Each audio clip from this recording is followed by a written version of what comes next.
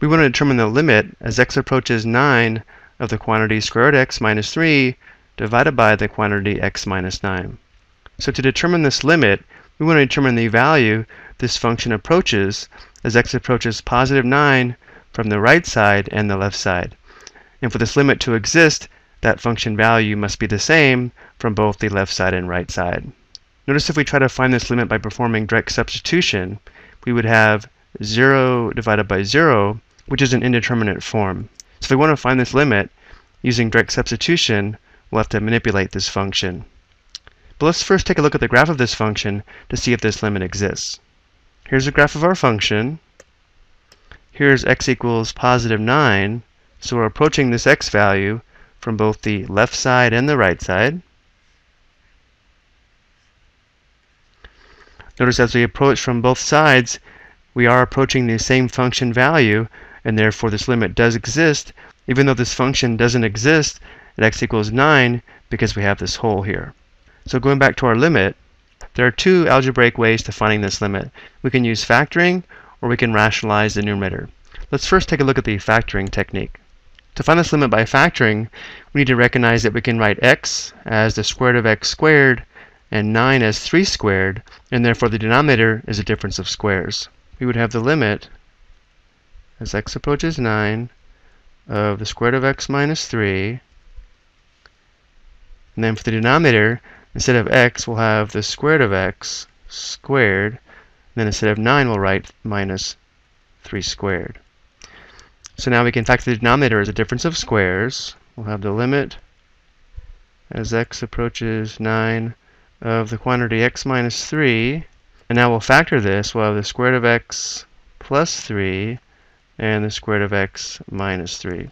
Notice now it's going to simplify because we have a common factor between the numerator and denominator, these two factors simplify to 1. So now we have the limit as x approaches positive 9 of 1 divided by the square root of x plus 3.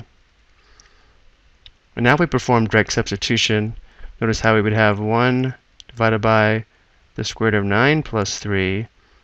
Square root of 9 is equal to 3, so this simplifies to 1 sixth, which is our limit.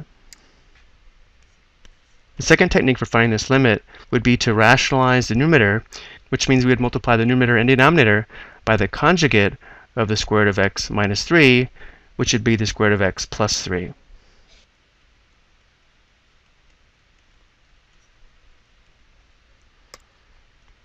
Now we'll go ahead and multiply the numerator and leave the denominator in factored form. So now we'll have four products, 1, 2, 3, and 4.